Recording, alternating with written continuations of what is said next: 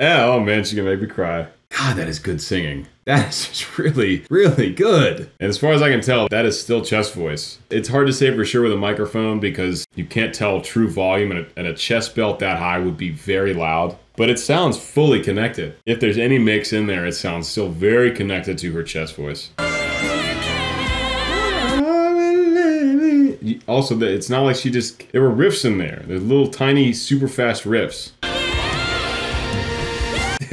What the hell? Oh my god. You know what I wonder about people who are this gifted is like I, I wonder how much of the riffing is planned because she is really just going with what she feels in the moment and she's so talented that she just does it and stays perfectly in key and I wouldn't be surprised either way whether it was planned or unplanned but my god it was a lot of skill